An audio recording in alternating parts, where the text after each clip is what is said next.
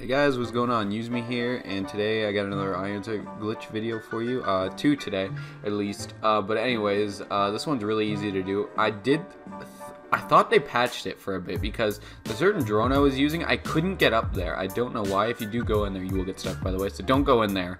Um, I was exploring, trying to explore a little bit more, uh, trying to see if I can get any further, but I don't think I can without a drone stack and uh, I just put it too close, and I just needed to, uh, uh, I don't know. But you can go under the ground.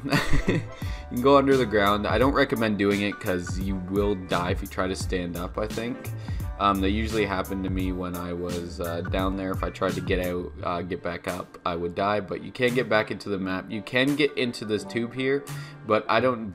I the jumping in this game is uh, you have to jump at the right time, and I'm, I'm still not sure what uh, right position you should be in to do it, but uh, it, it, once you figure it out, you'll be able to do it. Anyways, um, you can also get outside the map as well, like a second spot, but it's just on a death barrier, and only if you're really doing like a Michael Myers or just like hiding or some shit is like the only way you'll be. Uh, this will be useful.